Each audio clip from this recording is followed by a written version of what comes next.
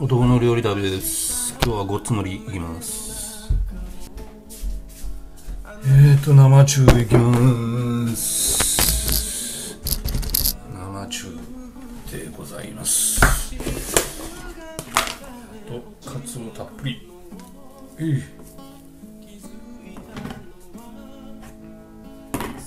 えマホネーズ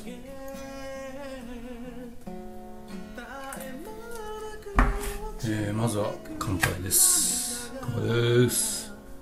お値打ちの実家前勝負にしたんですけどそこから見つかりました。う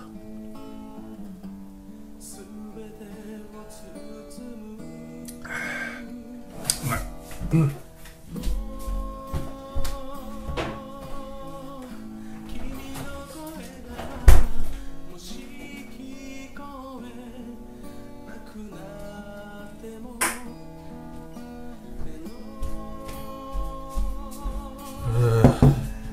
暑い時にビールと。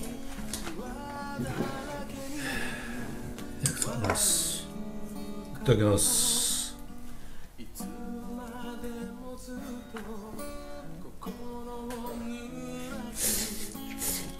うん。うん。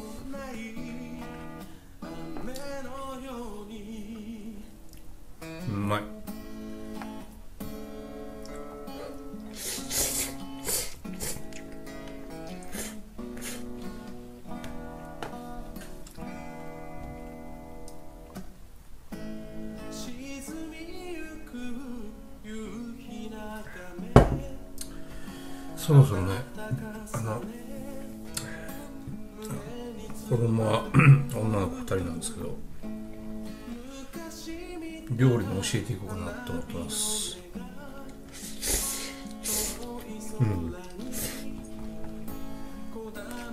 今のところ1個もできないんで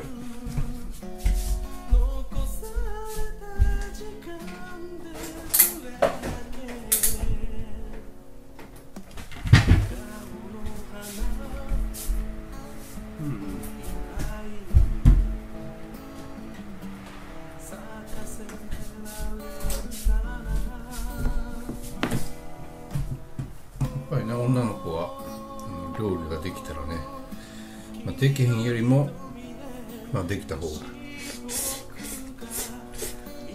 うん。で絶対得ですもんね。まあ自分のとこのその娘の話ですんで、えー聞いとってもらいたいんですけど。やっぱりねあのまあ、自分の経験してきた中で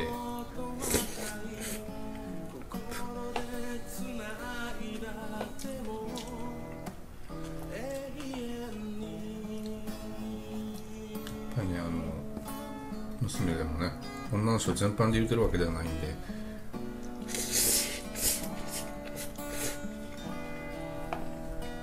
料理ができたらね。そのま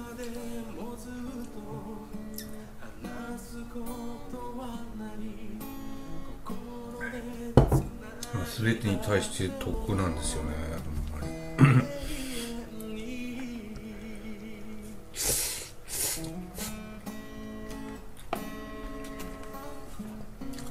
結婚生活においても何のことに対しても料理ができることによってあの夫婦円満にもなれるしえ付き合いもめちゃくちゃいいんですよね。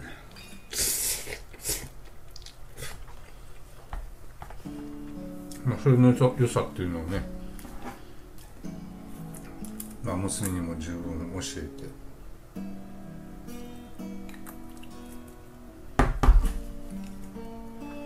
将来ねやっぱり男性と当然女性ではないですからね男性とは結婚するような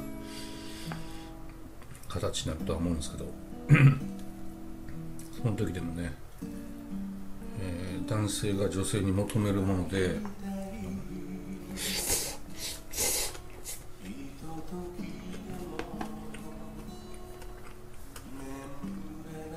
料理ってすごい、まあ、人生の中で割合占めてるんで私も料理好きですんで。娘にも料理好きになってもらって。でちょっとでもね。うん。人生をちょっとでも有利にね進めていってほしいなと思いますね。まあたかが。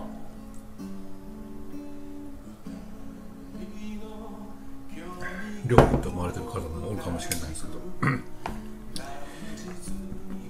料理をそこそこでいいんでできたらめちゃくちゃ人生得になります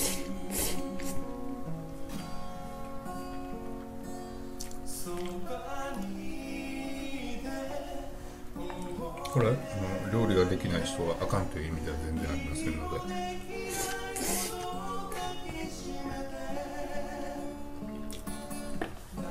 まあこの前ねそういう女性は料理ができた方がいいんちゃうかとは言って女性蔑視っていう感じで思われた方も多いかもしれませんけど全然そんな意味ではありません。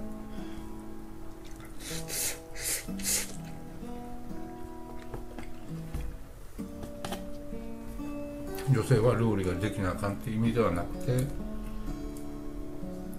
できたらめちゃくちゃ得であるっていうことですね。うん。それはもう女性でも分かってある人は分かってると思うんですけど。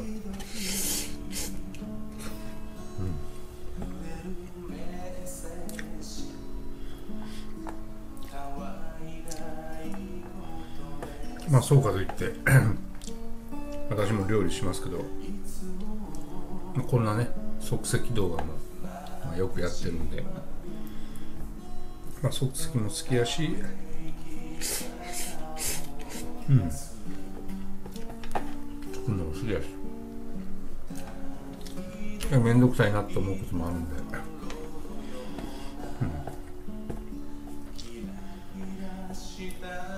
まあ、今日はちょっと暑いしね。うん。まあ誰もいないんで。気楽に。行っちゃって。ますこの瓶は、まあ、30年やそこら前の瓶だと思います。30年40年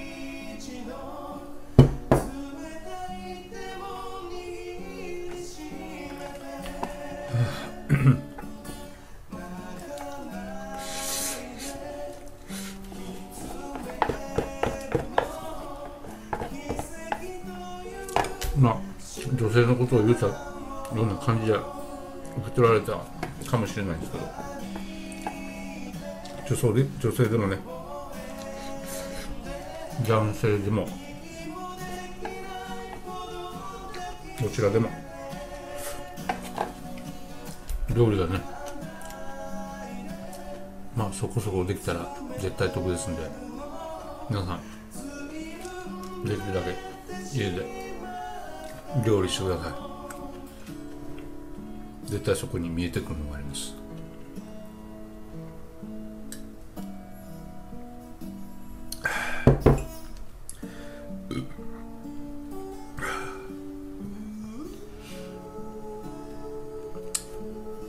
料理万歳。男の料理またチャンネル登録お願いします。えー、なかなか登録者1000人いきません。ご協力お願いします。以上です、うん、